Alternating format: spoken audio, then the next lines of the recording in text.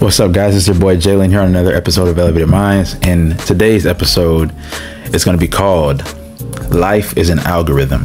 Y'all know what an algorithm is? It's like a program. And you know how the algorithm works on Instagram and TikTok and Facebook. Things that you pay attention to, the things that you watch the most, the things that you hit that like button on, the things that you comment on, the algorithm is paying attention to all this, right? Algorithm is following everything that you're doing. And guess what it's going to do? Because of what you're putting out, it's going to also put that right back in front of you. So every single thing that we like, every single thing we pay attention to, share, they're going to start sending us more content that's like that content. Does that make sense? So everything that's in our feed today is due to what we are paying attention to, what we choose to be in our feed, the types of people that you follow. Whatever they stand for is going to be posted on your feed. If that goes against what you believe in, you're going to have to look at that in a different standpoint. Everything we put out into the world, we're just like the algorithm that we have on Instagram and TikTok and Facebook and YouTube. It's the same way in life every single thing that we pay attention to, every single thing that we put out into the world is going to come back to us. The the life that we see, whether it be good or bad, is through the perspective of what we see. It's through the perspective of the lens that we're looking through. Does that make sense? So basically what I'm saying is if you're having a bad life, if you're having a really rough time in life, you really need to take a second to think about it. Take a second to think about it. Is this my doing? The things that I'm experiencing, the hardships that I'm dealing with, did this really come from my decisions? Did this come did this really come from the people that I have around me and the types of things that I'm I'm choosing to do, my habits, the things that I'm watching that I'm programming my mind with? You got to start looking at it from that perspective because life is really going to send you back every single thing that you're paying attention to, that you're giving energy to, that you're portraying. It's interesting when life mirrors these things, like they might bring people in our lives that we might find annoying. A lot of times, they're the things that we find annoying is the things that is like a mirror of us, something that we have going on inside of us that mirrors something in them that makes you angry. You know, it's, it's like a trigger almost. The main thing is what I'm saying is we got to look at it in the sense of whatever you decide to do every single day, whatever actions you take, whatever thoughts you choose to have, whatever things you just do, whatever people you decide to surround yourself with, every single thing that you do is going to come back. So re- if you look at it like that, think about all your your Instagram and stuff. What is your Instagram filled with? For a while, mine was only filled with like party stuff, thick women just twerking in their thongs and stuff like that. That's the type of stuff I had on my Instagram. Stuff that doesn't mean me any good. And when I changed my algorithm, I started to get different things. Travel stuff, things that make me want to go hike and, and be out in nature. Business stuff, that stuff is going to get me motivated on my business and making money. People around me being good, you know, having good friends, like stuff that's promoting love and, you know, joy and prosperity and happiness. Like, this is the type of stuff I'm following now. And my mindset changed because my algorithm changed. My mindset is what made the algorithm change because now that my mind is operating differently, now I'm going to start doing different things. I'm going to start surrounding myself around different people. I'm going to start changing my habits up for whatever goals that you want. You got to start doing different habits. How you do that? Sometimes you have to get from where you are from this perspective and you got to start looking in a different lens. That's the thing. A lot of people are stuck in looking in the same lens that they've looked through since they were like 17 years old. It's like you're 30 now. You're 40 now. You're 25 now. You know what i'm saying? You got to start looking through a different lens and that and that comes self growth self growth personal growth. Personal development you got to keep getting better. You got to keep learning. You got to learn to dig into that trauma that you have.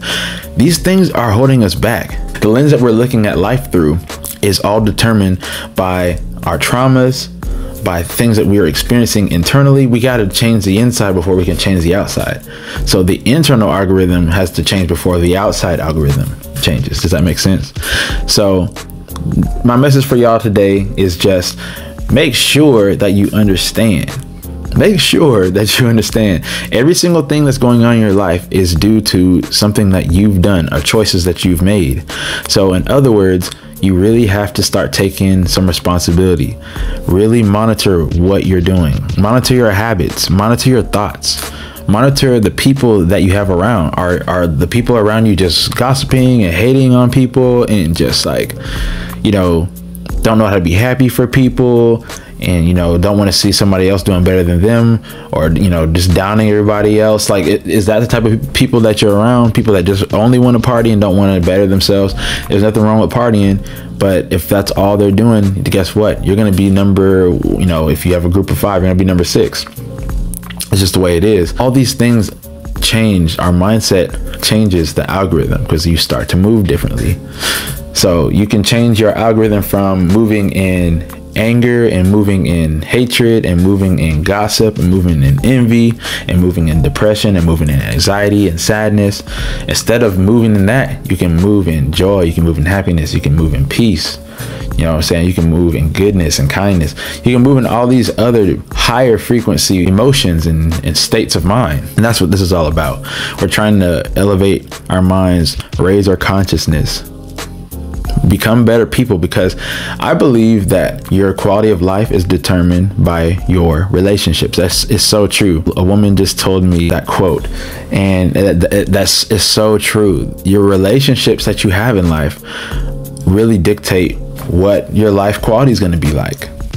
So think about that. The people that you surround yourself with, all your relationships, your friends, your mate, like your, your romantic relationship, your family, your coworkers, place that you choose to work, where you live, all these things of your entire surroundings dictate what type of quality of life you're going to have. So we got to look at it in these senses. We have control. That is something that we all have control over. Whether no matter what your situation is, that is a situation that we can control. We can control our environment, where we're going to live. We can control the people we have around.